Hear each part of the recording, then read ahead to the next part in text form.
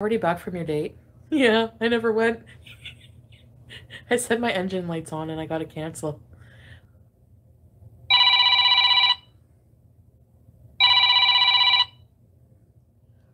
That was the guy I was supposed to meet today in Montreal. He smacked someone on camera, Chantal.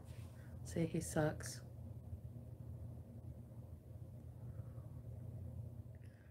I don't have any ill feelings towards this breezy lady because I just don't. I said she's fake, but I think she seems I think she seems like a nice person and I have no filter these days. Anyway, I'm glad I bought those bikini bottoms because I have no clean underwear. so I'm wearing them now. So if I have a fupa slip, you're not gonna know. I'm hyper, you're gonna get it. Okay. Wash your undies, bro. People say that about me. Imagine the smell. I don't think Breezy's in the same position. I think. I think.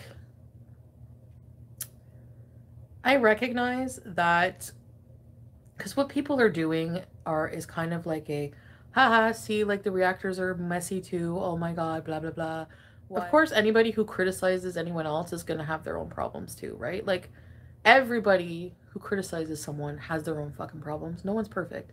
But that doesn't mean that this, these other people shouldn't be criticized or talked about. You know what I mean? So, I don't know. My views are kind of changing on that a bit. Chip skip!